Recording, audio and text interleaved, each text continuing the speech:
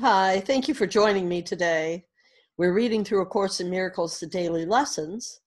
We're almost done with this module or focus uh, section. We're on lesson 279 Creation's Freedom Promises My Own. The end of dreams is promised me because God's Son is not abandoned by his love. Only in dreams is there a time when he appears to be in prison and awaits a future freedom, if it be at all. Yet in reality, his dreams are gone and with truth established in their place. And now is freedom his already.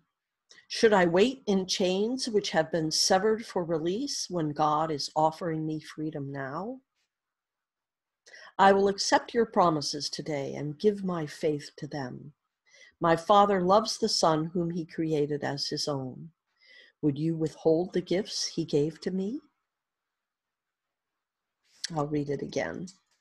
Creation's freedom promises my own. The end of dreams is promised me because God's Son is not abandoned by his love. Only in dreams is there a time when he appears to be in prison and awaits a future freedom, if it be at all. Yet in reality, his dreams are gone, with truth established in their place.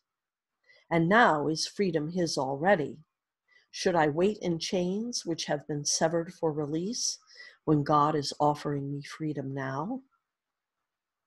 I will accept your promises today and give my faith to them. My Father loves the Son whom he created as his own. Would you withhold the gifts you gave to me? I hope you have a great day with this lesson. And uh, I hope to see you here tomorrow.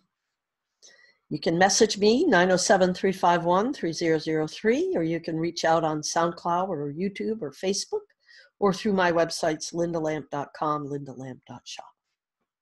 Namaste and much love.